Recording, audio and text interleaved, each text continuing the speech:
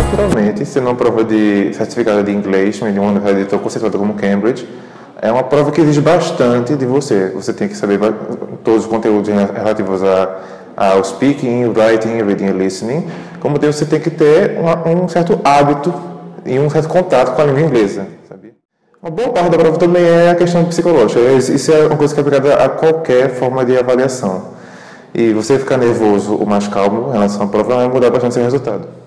Eu estou entrando agora no direito, né, na, nessa área eu pretendo me agir um pouco mais na área do direito internacional e relações internacionais. Então, o inglês e a língua estrangeira no geral é importante para essa prática.